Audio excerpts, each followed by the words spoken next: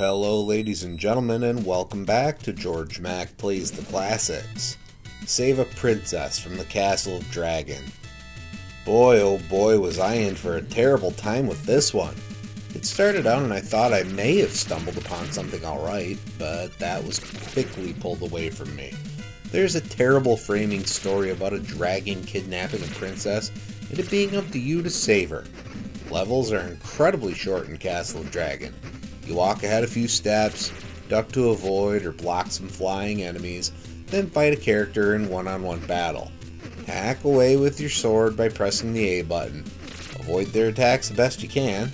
Jump over them if you must with the B button. As you play, you'll learn throwing knives and a mace that you can switch among with the start button. The mace seems to hit enemies multiple times if you get a good swing in, but it also randomly hurts you when you swing it. Some enemies drop neat power-ups like a sonic slash or lightning bolts, but they disappear too quickly. Hopefully you find some armor to give you an extra life bar.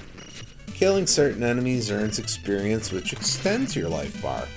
Making it to the castle has you choose from four levels to complete in order to find the relics you need to defeat the dragon. Boss battles are incredibly annoying, requiring you to figure out the exact pattern necessary. If you die, it's game over. Start from the beginning. This is not a good enough game to warrant that, so save states were used liberally. Button presses are often ignored because of the massive slowdown present. If you accidentally enter the final boss's chamber before you collect all four relics, it's an instant game over.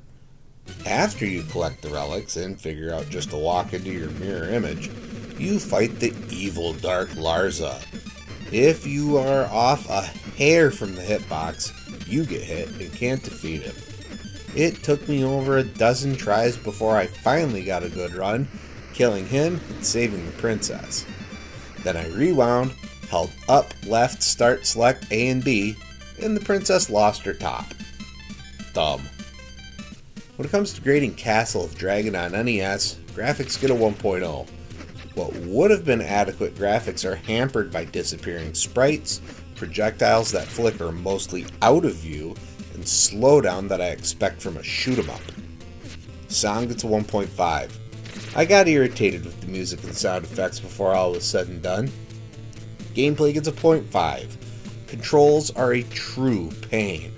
The slowdown causes inputs to be missed, hitboxes make no sense, and the shield is worthless. Difficulty gets a 0.5. The awfulness of the gameplay makes many of these levels an absolute chore. No extra lives was an unforgivable design choice. Fun factor gets a 0. Terribly unfun. Overall, Castle of Dragon earns a 0.7 and gets a D minus. What started promising ended as a complete and utter suckfest. Well, that's going to do it for me for today. Please make sure to like this video.